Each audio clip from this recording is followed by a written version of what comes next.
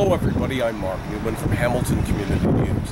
Behind me is the Town Place Suites by Marriott Hotel Development. This is in Upper James in Hamilton near the Lincoln Alexander Parkway. It's a $20 million development. It's going to mean 35 new jobs, another local impact. is going to help turn Upper James into a hotel strip. Keep an eye on Hamilton Community News.